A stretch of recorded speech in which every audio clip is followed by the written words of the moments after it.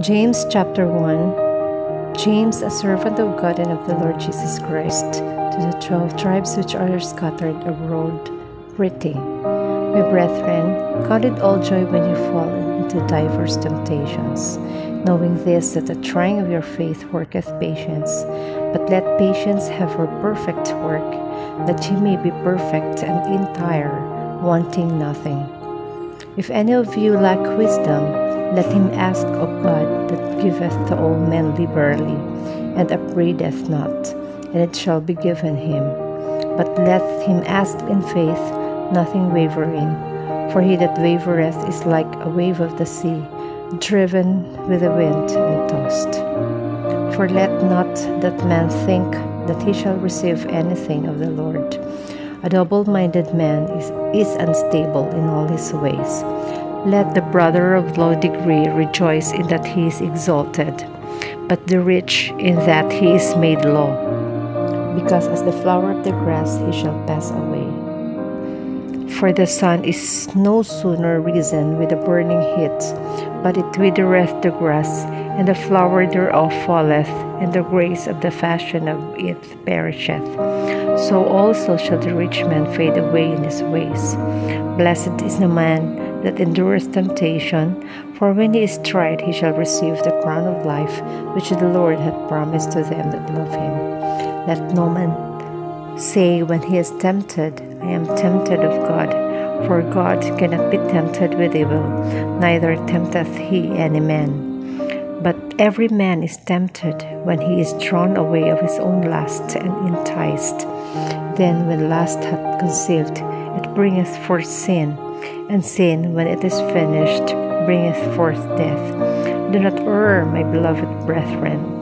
Every good gift and every perfect gift is from above, and cometh down from the Father of lights, with whom is no variableness, neither shadow of turning. Of his own will begat he us with the word of truth, that we should be a kind of first fruits of his creatures. Wherefore, my beloved brethren, let every man be swift to hear, slow to speak, slow to wrath. For the wrath of man worketh not the righteousness of God.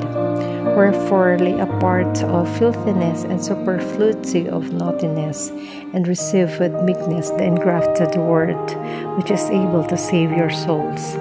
But be ye doers of the word, and not hearers only, deceiving your own selves. For if any be a hearer of the word, and not a doer, he is like unto a man beholding his natural face in a glass.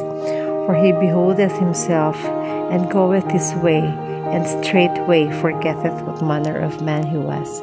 But whoso looketh into the perfect law of liberty, and continueth therein, he being not a forgetful hearer, but a doer of the work, this man shall be blessed in his deed.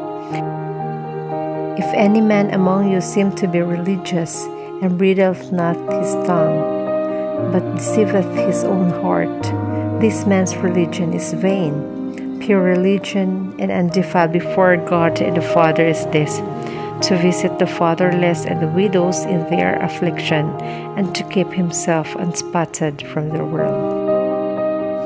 The book of James is one of my favorite books in the New Testament. In this chapter 1, I can see three beautiful things. It entails encouragement when you are undergoing trials where patience is being stressed out. The virtues, patience, faith, joy, perfect work, wisdom, pure religion is also being stressed out as instructions of what a Christian should possess. It focuses on good traits so that we will not fall and our spiritual being will stand firm. There are also reminders it tells us what to do during trials.